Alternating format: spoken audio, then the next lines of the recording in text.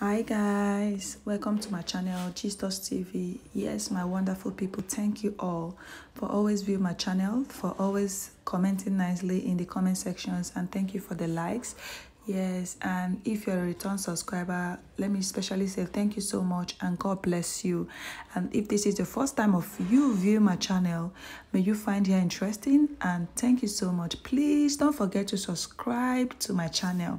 Yes, it is about the famous, the beautiful, the scream goddess, our beautiful Genevieve Nnaji. Yes, remember um, several months ago, it was reported that she was actually sick in the United States of America, where she's been for like one year plus, and yes, and that she is receiving treatment in one of the hospitals in Houston, where it was reported that one of a Nigerian American nurse, or should I say American Nigerian nurse, which one? Actually reported to um, um, told one of the bloggers that yes it is true that she was actually receiving um, medication in one of the facilities. She didn't mention the name of the hospital. Of course it would be breach of contract or um, um, work if she actually says those and being caught would actually lead to her dismiss from work Yes, my wonderful people, Genevieve Nnaji is actually back to the country. She was spotted in an international airport in Lagos. Of course, her friends and family actually came to welcome her back to the country. And yes, she was spotted in a G wagon that in Lagos in uh, in a traffic.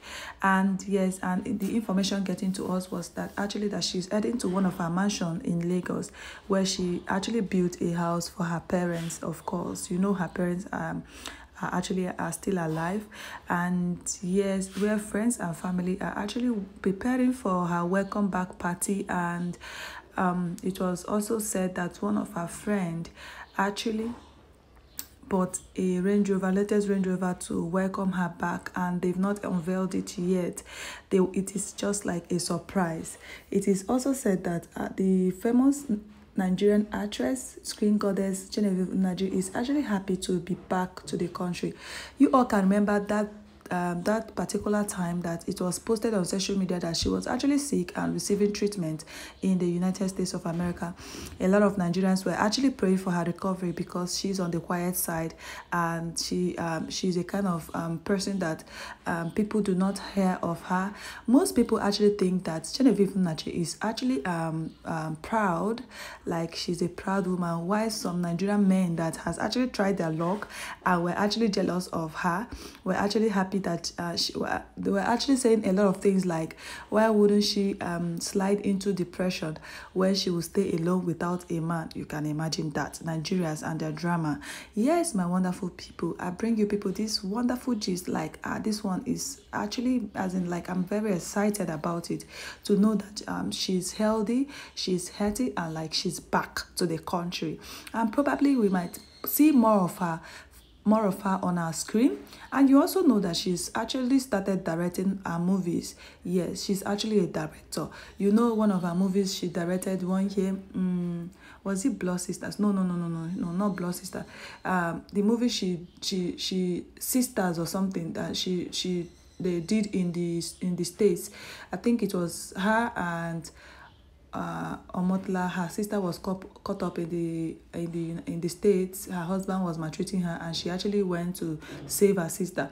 Yes, she was the one that actually directed the movie. Don't worry, I will bring you more updates of Genevieve Nnaji's now that she's back to the country. Of course, it is our duty to bring more of the update of the beauty goddess, this the scream goddess. Yes, we are so happy that she survived it.